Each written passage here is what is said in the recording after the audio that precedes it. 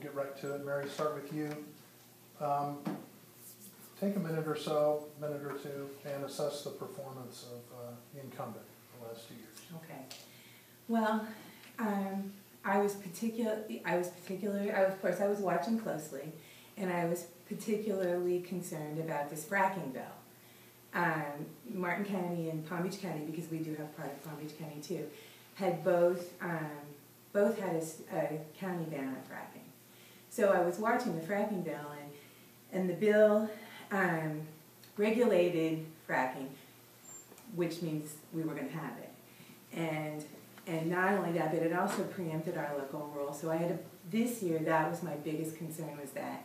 What I did was, it, she voted up on it, the House passed it through, and what I did was, I worked really hard, um, to get it stopped in the Senate. I got over hundred postcards signed by people who were against it that live in the district, sent them to Senator Negron, and I believe we had some impact on, on it getting squashed in the Senate. So that was my biggest issue this year. Okay, beyond, beyond the fracking issue, which I wanted us to get into a little And we're bit. only talking about the last two years? Um, Um, because would- we would- ran against each other one other time, Yeah. and, and you know, again, I have always had concern about Representative Magar's votes on issues with regard to the environment here, because it's a really, it's a really huge issue. Um, she voted yes on that horrible House Bill nine ninety-nine that gave, uh, the thirty-year land leases in the Everglades agricultural area, and that's one of the reasons that I stepped into the race. So I would have liked to have seen Representative Magar be more environmentally friendly and, and vote what I believe is what the district would have wanted. Okay. MaryLynn, I'm gonna give you a chance in a subsequent question to address the, the, how you voted on the fracking issue, so don't, don't feel that you need to address that now, that's, that's part of my, my list of questions. Um, assess your own performance this, uh, this past two years. You know, I think that uh, I've really come into my own the past couple of years, making sure that um, I continue to peel back layers and layers of every issue, and and and to learn about them. I mean, recently uh, we went on a tour of the entire water system, so that um, you can see what has been done, uh, the progress that's been made, what will be coming online soon. Uh, not just hearing one side of any issue, but making sure that, um, you know, you talk to everyone in the community, um, if it's a, something with the water or healthcare, that you're, you're talking to both sides to, to understand that. I've been able to advance legislation within healthcare for small businesses, um, here locally, there were a couple of bills that I championed. Um, one that stemmed from the boy that had brain damage after the home was tented. And we were able to get some legislation for stewardship and making sure that the training uh, was proper.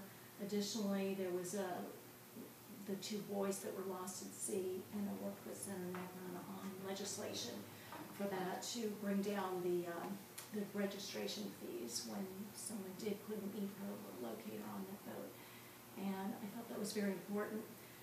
Within, um, you know, I, I, I like to be attached to legislation that I'm working on. So those two were very organic bills that came from the community. Uh, additionally, I usually represent things that work around small business or healthcare. Was able to pass all the bills that I was able to file last year, including our local bill allowing Martin County to serve alcohol in smaller places.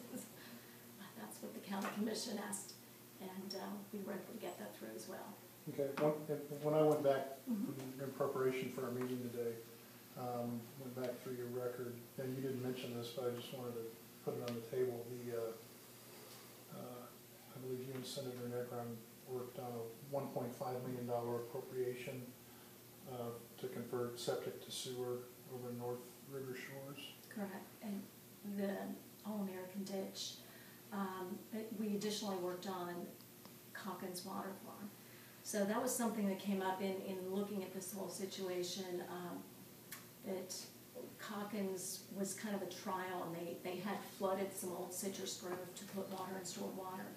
And, um, when they came back and were offering the second plot of land, and I think eventually it can hold about eighty thousand, uh, acre feet, if, if and when, I should say, when it's all done, it's, it, it should be done within the next few months. I mean, that's one of the good projects that we can see, it's, I mean, uh, we wish it were tomorrow, but it, it should be before next rainy season.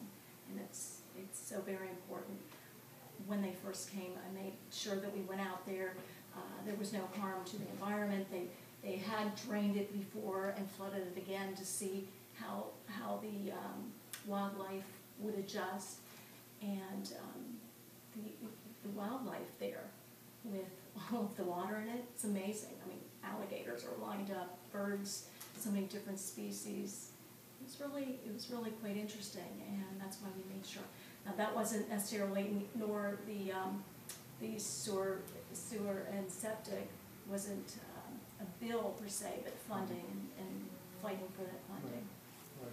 Would you consider this, this uh, previous session your most successful from a legislative, just an individual legislative point of view?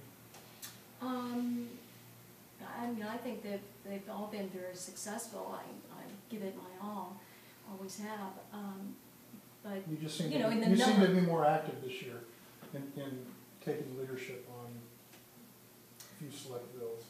well, you know, two years prior, having had the stroke and, um, making sure that I got back and was, was doing physical therapy weekly while also attending session and committee weeks was quite challenging. Um, I was determined to get through that and to recover completely, but, you know, this year, I really, I, I felt good. Uh, I was not in pain in certain parts that I had been before, so yes, I guess I would have been more engaged. Right, good, thank you.